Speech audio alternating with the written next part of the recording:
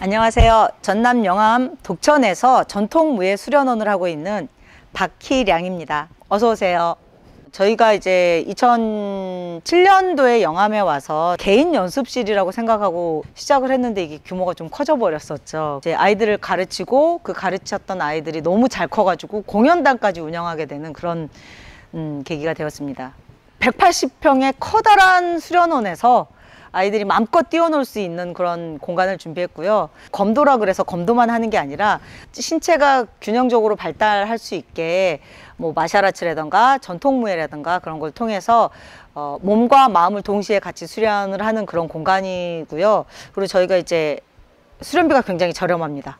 차량 운행비만 있으면 저희가 언제든지 수련을 시작할 수 있게 그렇게 하고 있고 아이들이 몸을 많이 안 써요. 공연단을 운영하고 하면서 아이들한테 같이 움직일 수 있는 공간을 마련해 주려고 최대한 아이들이 부담 갖지 않게 하려고 그렇게 하고 있는 것이 저희 수련원의 가장 큰 장점입니다.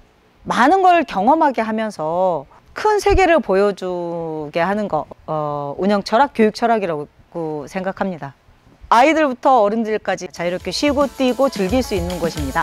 많이 찾아주십시오. 감사합니다.